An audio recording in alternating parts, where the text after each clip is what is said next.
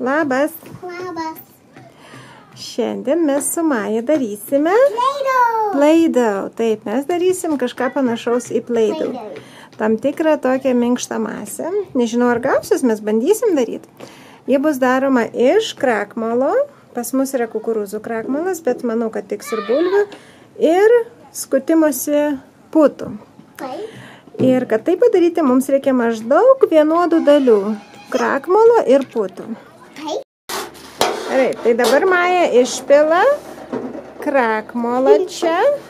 Kiek mes jo turime? Šitą dubenį.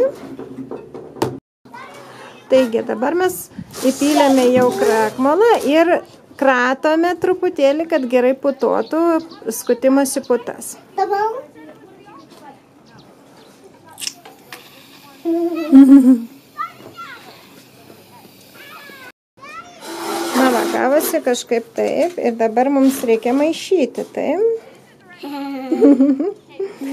Paskui mes žiūrėsim, žiūrėsim, ar mums reikia, ar mums reikės pridėti daugiau krakmalo ar daugiau puto, mes bandysim padaryti taip, kad gautųsi graži konsistencija.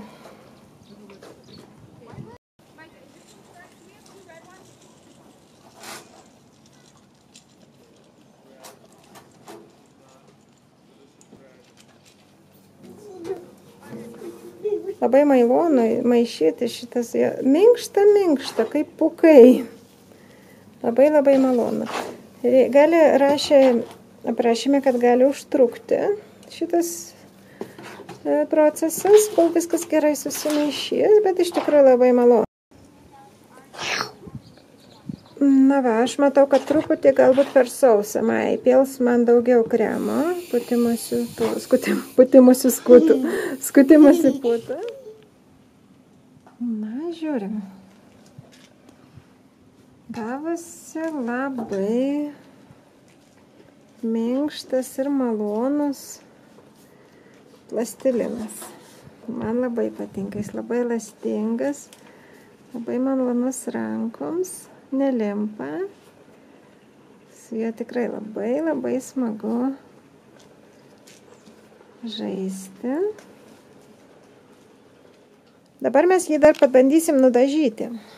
Taip, Maja padalins į keturias dalis ir mes kiekvieną dalį padažysim vis kitą spalvą. Gerai, tai ką mes padarėme, mes tiesiog į tą blinelį truputėlį įpylėme skisto, skisto dažiklio ir reikės išmaišyti. Na, kas, kas gavosi, žiūrim, taip. Gavosi gražus kamaliukai, spalvoti, minkšti. Jie, jie gan greitai džiūna ant saulės, beje. E, Aš vis... Jo, ir jie turi tokį trūkumą, nuplaidau, kad jie va taip kartais trupa.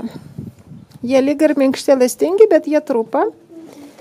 Bet, e, nu, aš sakyčiau, vis tiek labai įdomu, verta pabandyti. Aš juos vis pridedu daugiau, kai jie padžiūna, daugiau putų, galbūt net ir vandens galima juos truputį pridėti, palašinti, kai jie sudžiūna, bet vis tik smagu padaryti. Mes pirkom patį pigiausią iš Dollar Store, dolerinės parduotuvės e, mm, skutimusi patas.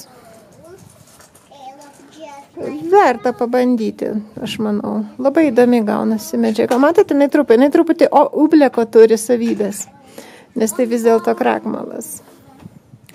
Nu kągi, ačiū Jums, kad žiūrėjote ir ačiū už Jūsų like. Ate.